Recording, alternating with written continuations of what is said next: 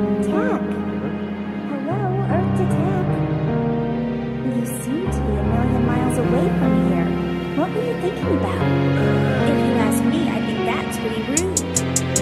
Do you think it's right for a boy to be out on a date with a girl and be off into some other world?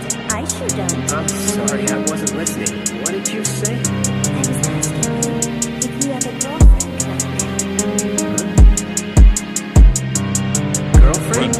phonk in this bitch. Not at the moment. There is someone I think about quite a bit. You don't love me, you love that I love thee. You look so lovely, but that personality is ugly. You been looking funny, trying to play me for a dummy.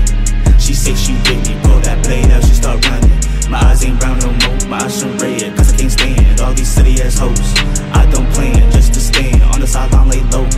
Why you shit?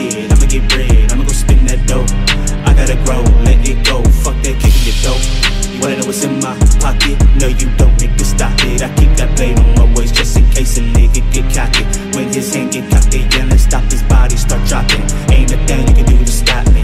Now why she cheating? That's not what I'm thinking. I'm thinking about wrapping both their bodies up in saran wrap, make sure it don't start leaking. I could put them in the swamp or put their ass in the deepest deep end. Cheaters, garbage, trash, ass, it ain't even worth the sight to see it.